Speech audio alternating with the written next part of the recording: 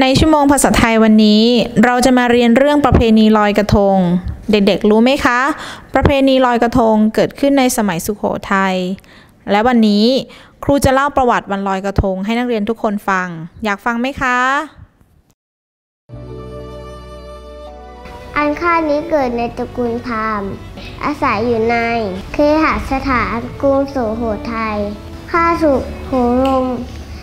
เลี้ยงดูมาในแบบอย่างของตระกูลพราหมณ์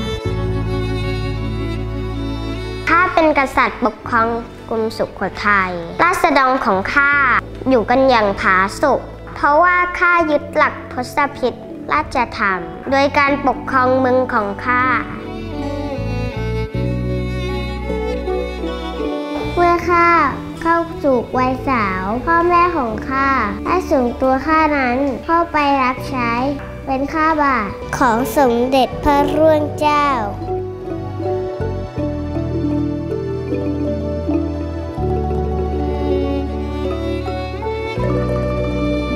เจ้าจงดำรงตำแหน่ง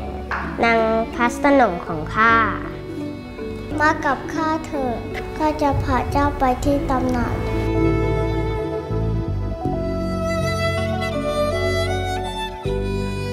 ถึงวันเพ็ญเดือน12 แล้ว เราสนุกภาพกันคิดประดิษฐ์กระทงให้สวยโดดเด่นเป็นแน่แท้ข้าจะทำโคมลอย ที่เรียงรายด้วยบทพระชาตินานาชนิดถวายให้แก่พันเรื่องเจ้าโคมลอยของข้านั้นต้องงดงามกว่าคนสะดวกคนใด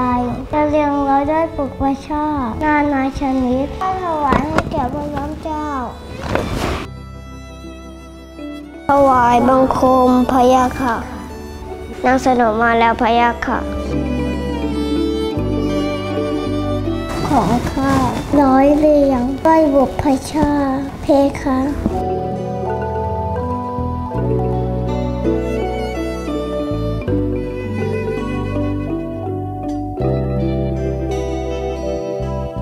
ของข้ามีหลากหลายสีเพคะ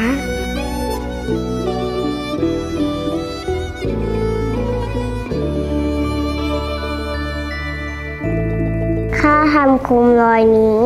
เพื่อรับแสงสว่าง ของดวงจันทร์ในคืนวันเพ็ญนี้ เพคะ เจ้านี้ช่างฉลาดยิ่งนัก ควรถือเอาเป็นเยี่ยงอย่างข้าขอกำหนดให้วันเพ็ญเดือน 12 จะเป็นประเพณี ลอยโคม ขอขมาพระแม่คงคา สืบไป